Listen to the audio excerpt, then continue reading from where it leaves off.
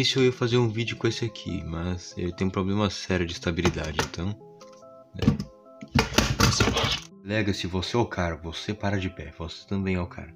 Mas enfim, decidi fazer esse vídeo comparativo aqui do Paxefalossauro da Mattel e da Kenner, né? Faz muito tempo que eu tava querendo fazer, mas como vocês viram, esse aqui não prestava para fazer, não parava de pé de jeito nenhum, então... Ah, Stiga, por que não botou base para ele ficar melhor? Não, ele caía igual.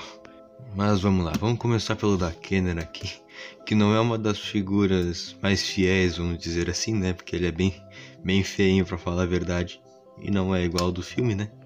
Os braços dele aqui acho que são bem grandes para um Paxefalossauro. Os pés dele principalmente, tem uns pés bem grandes aqui. A cabeça dele é muito estranha, mano. É, é sério. Olha pra cabeça desse bicho de frente.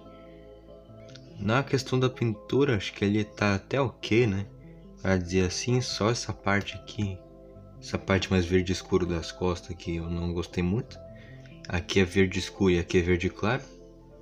Mas enfim, vamos para a articulação dele. Ele tem um mecanismo até bem interessante, tem um botão aqui na perna, se aperta e bom, ele dá uma ele abaixa a cabeça aqui.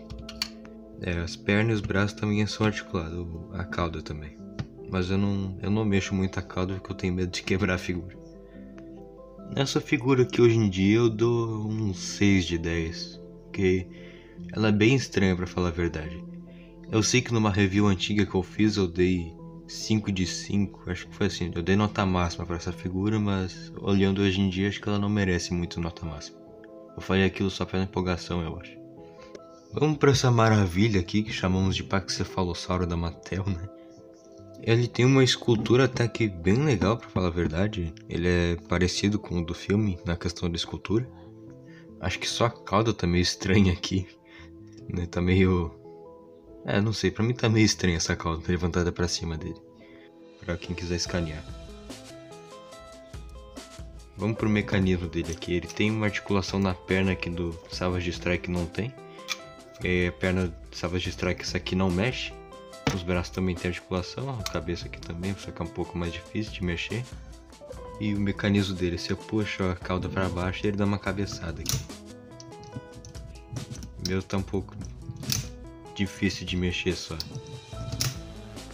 Eu acho esse aqui até melhor que o Legacy de 2018. Tem que, tem que dizer, isso aqui é, é um pouco melhor que o de 2018, na minha opinião.